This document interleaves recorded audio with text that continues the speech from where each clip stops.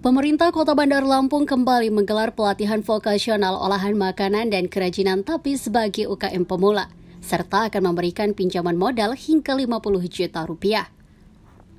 Wali Kota Bandar Lampung Eva Duyana berharap pelatihan yang diselenggarakan ini dapat meningkatkan kapasitas pelaku UMKM pemula di Bandar Lampung dan juga meningkatkan keterampilan dan kreativitas olahan sehingga dapat menunjang perekonomian Bandar Lampung.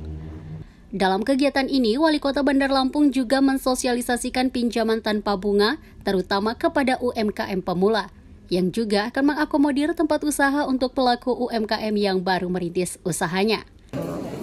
Kalau pemerintah Kota Bandar Lampung ini nggak pernah berhenti berhenti, selalu memberikan masukan dan juga kita juga membantu apalagi kita punya program pinjaman tanpa bunga bagi UMKM kita apalagi dengan pelatihan ini tadi kan bunda lihat juga ada yang uh, selain peng, apa pemula untuk tapis tapi mereka juga ada usaha makanan.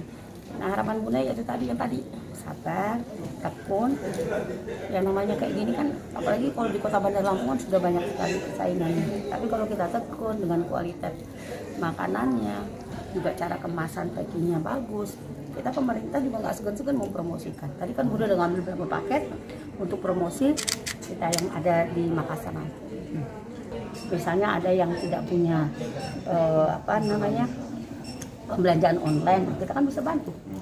Caranya seperti apa seperti apa. Atau memang kita bantu untuk mereka untuk uh, buat apa, uh, apa namanya uh, ininya untuk online itu gitu. Caranya seperti apa ya kita permudah. Mudah-mudahan bisa lancar semua. Karena kan online sekarang kan semua pada online. Orang yang dari Jawa Barat bisa datang ke sini makanan dalam kegiatan pelatihan yang berlangsung selama empat hari tersebut, diikuti oleh 50 pelaku UMKM pemula di Bandar Lampung. Dari Bandar Lampung, Noprian Haryanto, Saburai TV melaporkan.